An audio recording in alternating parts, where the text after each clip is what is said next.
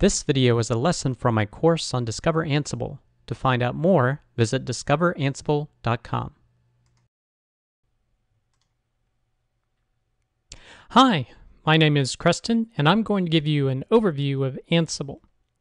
So what we're going to cover is what is Ansible, and then we're going to look at a few different concepts that I'm going to explain. We're going to look over the host inventory.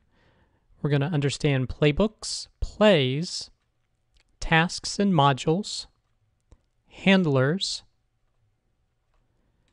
variables, templates, and facts, as well as roles. So let's get started. So what is Ansible? So Ansible is a server configuration management, orchestration, and deployment tool. Now that's a lot of words, but what it basically means is you can manage the configurations of your servers with it uh, quite easily. You can also do orchestration. Orchestration means that you ask for one server to do one thing while you're doing something else with another. For example, you could take a server out of a load balanced array, apply patches, or reboot it, and then add it back to the load balanced array. And then deployment is actually getting applications onto uh, a server, deploying new code to it. Now, one of the hallmarks of Ansible is simplicity. It's it's very simple to get started, um, but it has a lot of power behind it as well. Um, Ansible is agentless. You don't have to have an agent running on any of the servers that you manage. It just relies on uh, SSH and Python. Uh, now, it uses SSH to make all its connections and to run all of its configuration changes. Now, because of this, it favors pushing configurations. Um, so you have a workstation that has uh, the code on it, or you could have a secondary server, and then you push those configurations or run those tasks on those servers. Another thing that Ansible does is its configuration is done using YAML, which is, stands for yet another markup language. Uh, so it's relatively easy to read as opposed to having to actually read code. So to sum it all up, what Ansible basically does essentially is it is a set of tasks in playbooks that are run on a particular set of hosts. So it's through these tasks that it is enabled to do the server configuration, uh, orchestration if you choose, and also deployment. So let's first talk about the host inventory. So this is your lists of hosts or servers that you want to manage with Ansible. Uh, these can be organized into groups uh, to make it easier to manage uh, multiple servers. Within the inventory, you can also set um, certain ports or to override other config uh, connection settings. Now, typically, the host inventory is a flat file but you can use plugins that communicates with cloud providers like AWS EC2 or Rackspace. To give an example of what a inventory file looks like, uh, this is what it looks like. So you have a web servers group, and then uh, this is web1.example.com and web2. So this enables you to talk to these two servers. And then this is your uh, these are your database servers, and it's under the DB servers group.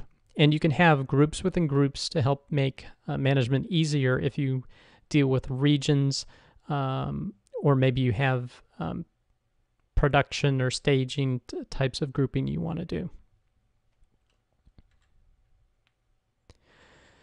So let's talk about playbooks.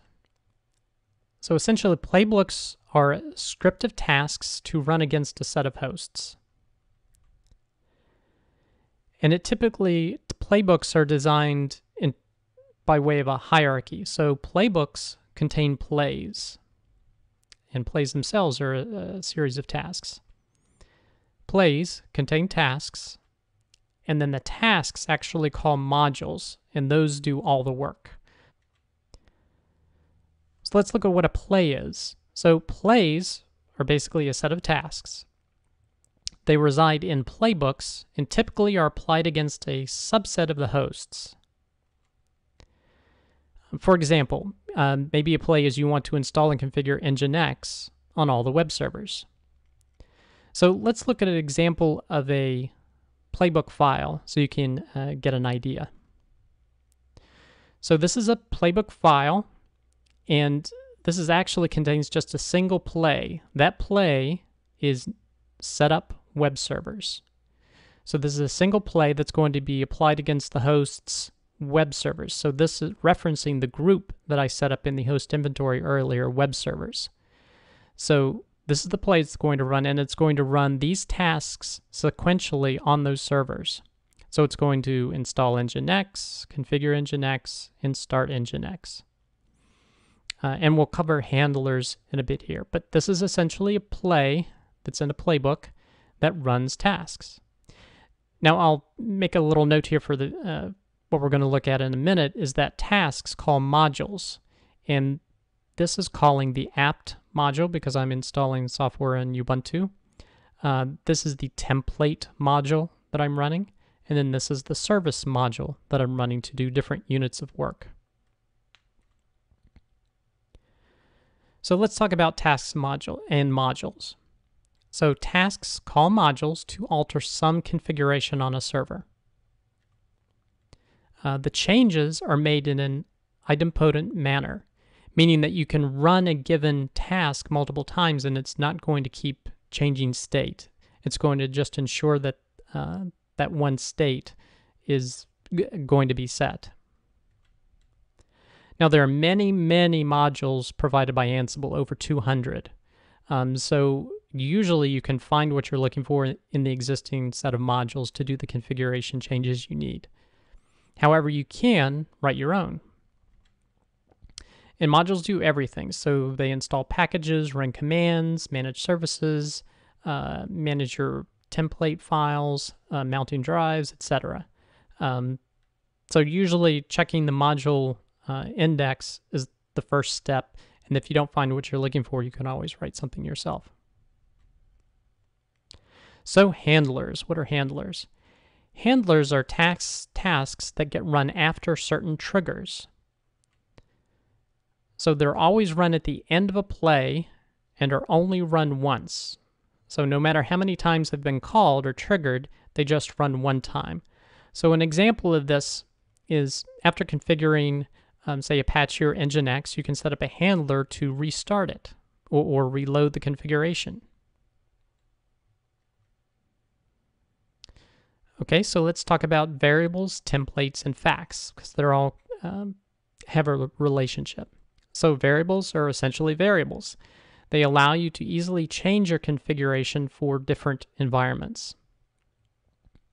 So typically what you want to do is you want to set and alter variables to change uh, different configuration settings as opposed to rewriting, keep rewriting your tasks. So templates allow you to copy configuration files and update certain sections using variables. And it uses the uh, Jinja 2 templating. And facts are information collected about each server in your inventory. Uh, for example, it keeps track of IP address, memory, disk space, etc. And you can use these facts to help with server configuration. So you can apply certain changes to templates. So if you need one server to talk to another one, you can actually use the facts uh, to help them communicate with each other. So now that we've covered all of this, let's take a look at this um, playbook that we've looked at previously. And this is, again, the single play setup web servers applied to uh, this set of hosts. So if you look at this task, this is install Nginx, and it's using the apt module. And it's state, it states that it needs to be present. So as a as opposed to saying install this, it just says make sure it's present. This goes back to the item potent nature of Ansible. You express the state you want the configuration to be in, as opposed to giving it instructions. Uh, similarly, it says state it's been reloaded or the state it's been started. So it's phrased in the past tense In other words, it's the state that you want it to be in. And then under the look, continuing on our tasks, you see configure nginx, and this uses the template module. Oh, excuse me, and it's going to copy a file called nginxconf.j2 to a particular destination.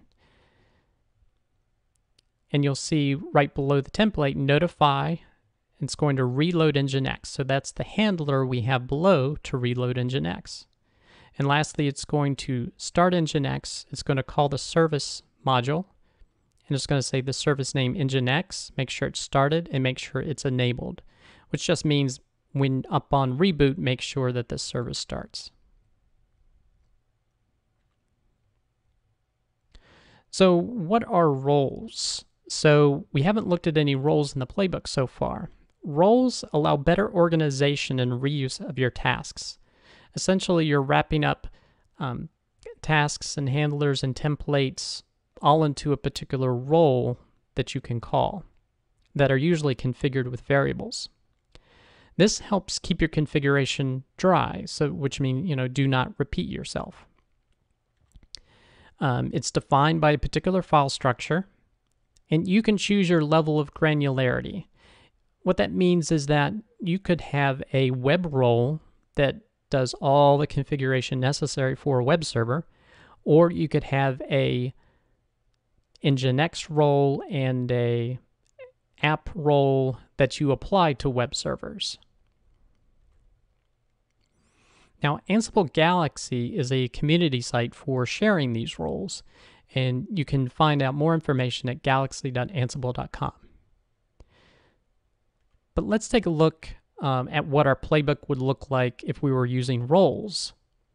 So we could see this is a single play in a playbook that says set up web servers. We're applying to the same hosts, but the roles, I just picked two roles. I'm applying a web role and a web jobs role.